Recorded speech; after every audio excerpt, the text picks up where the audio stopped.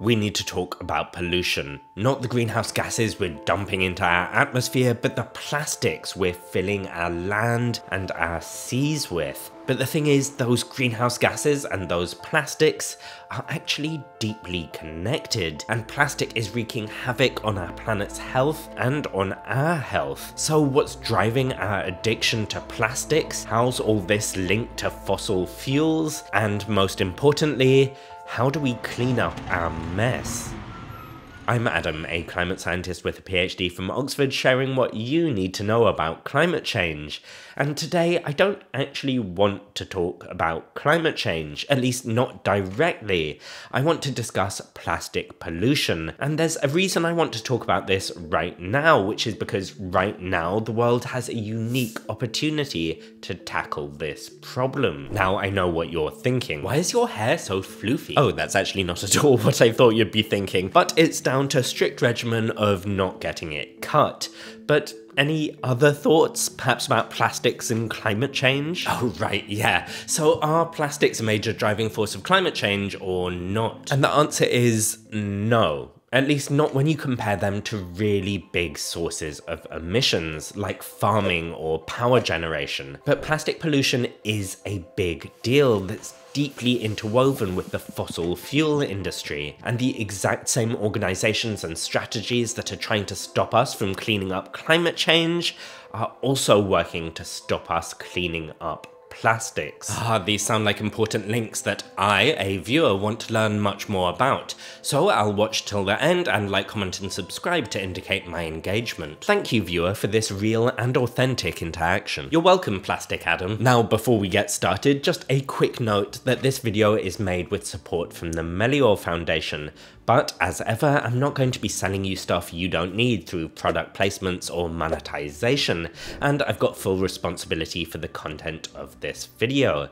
Okay, so let's start off by talking about why plastics are actually bad. Why? I mean, everyone knows plastics are bad, sure, but honestly, it's hard to appreciate just how bad they are. You see, plastic is an amazing material. I thought you were going to explain why plastic is bad. Right, and I'm getting to that part. The thing is, plastic is tough, like super tough. Plastic is designed to last, basically forever. It can take anywhere from 20 to 500 years to decompose. I mean, for context, this was fashion 500 years ago. It's giving snatched waist and lead poisoning. Well, the point it's giving is that 500 years is a really long time. Okay, so if plastics are so durable and awesome, what makes them so awful? Well, lasting decades to centuries is great if it's actually for products which are meant to last decades to centuries, but so many of the plastics we produce are single use which means they're only used once. Exactly. Stuff like plastic cutlery, straws, bags, packaging, and then after that one single use, they're chucked out. And then there's stuff like fast fashion with synthetic materials, which is only worn a handful of times before that's chucked if it's worn at all. And we're talking about vast amounts of chucked out plastic. Since the 1950s, we've created about 9 billion tons of plastic, about 7 billion tons of which have ended up as primary waste. I can't even begin to visualize that number. Well, it's about the weight of the Empire State Building. Whoa, that is a lot. I wasn't actually finished. It's about the weight of the Empire State Building times 300 thousand. And we're back to me not being able to visualize it again. So what are we doing with all this plastic waste? I'm guessing it's not all getting recycled. It's barely getting recycled at all. Imagine these 10 bits of plastic represent all the trash we've created. We get rid of two of them by burning them, not great for the environment, and we recycle just one of them. So what happens to the seven that are left over? It's not great news. So five of them, that's half the total, end up in landfill. The remaining two end up all over the place, uncontrolled dump sites and in nature, on land and in water. In fact, every single year around 20 million tons of plastic, that's about 60 Empire State Buildings worth, end up in lakes, rivers and seas. You're really sticking to this Empire State Building unit of measurement, aren't you? Well, look, if you can think of a better way to capture the vast scale of plastic pollution, then drop it in the comments. Pretty unsurprisingly, all these skyscrapers worth of plastic are wreaking havoc with the environment. It's choking wildlife, damaging soils, and poisoning water supplies. And when plastics break down into tiny parts, those microplastics you've heard about, they can mess up everything from the water cycle to how living things grow. And since we humans happen to live on this planet, all these problems are our problems too, messing up our food and our water. Now maybe despite all of this, you're still thinking, who cares about plastic in our stupid environment? To which I would say this, there's plastic in your stupid body too. Okay, well now I'm concerned because I happen to like my stupid body. Lots of plastic products contain endocrine disrupting chemicals, EDCs, in other words, chemicals that mess up our hormones. These have been linked to everything from cancer risks to infertility. Then there's the forever chemicals in some products, including the PFAs that everyone's been going on about.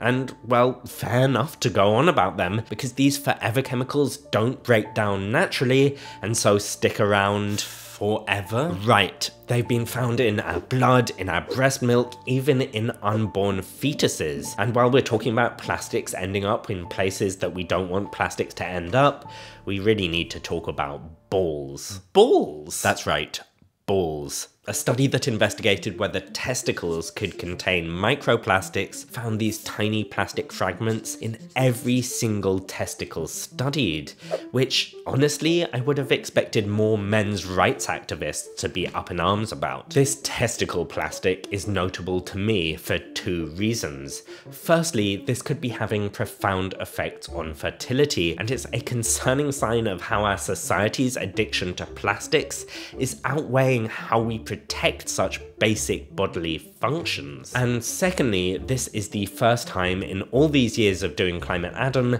that I've ever used the word testicle. Well, let's hope it's the last too. Such a prude. Okay, so two completely unrelated questions. Firstly, what even is plastic? And secondly, what does all this have to do with fossil fuels? Well, you're never going to believe this, but the answers to those questions aren't unrelated. Well, no one could have predicted that. The thing is, plastics are fossil fuels. They're mostly made from oil, and honestly, this information is so important that it needs to be memed. The relationship between plastics and fossil fuels isn't set to change anytime soon, or rather, it is set to change in that it's going to get worse. Some projections see global plastic production doubling or even tripling in the next 25 years. Now, as we shift to clean energy and electric vehicles, that should mean oil demand gradually drops. But the production of petrochemicals and plastics is going against that trend. It's expected to be one of the largest drivers of growing oil demand up to 2050. Okay, so plastic production sucks for the climate because it's tied to fossil fuel production. Right. But are plastics themselves causing climate change? They actually are. Plastic production causes about 5% of global emissions. That doesn't sound like a huge amount. Well, it might not sound it, but it actually is pretty huge. While it's not as much as the really big climate causes like farming or power plants, it's more than all the global emissions of flying, for example. And if emissions from plastic were a country, that'd be the world's fourth biggest greenhouse gas producer. Okay, so plastics suck. I guess we need better recycling. Well, getting better at recycling would be great, but recycling plastics is just hard. There are so many types of plastic and sorting them is hard. Then actually processing these plastics is hard and the quality of the materials you end up with is often not very good, meaning reusing it is hard. And then of course processing the absolutely vast amounts of plastics that we're talking about is, let me guess, hard. Well, I was going to go with difficult, but sure. So the truth is, we just can't recycle our way out of this mess.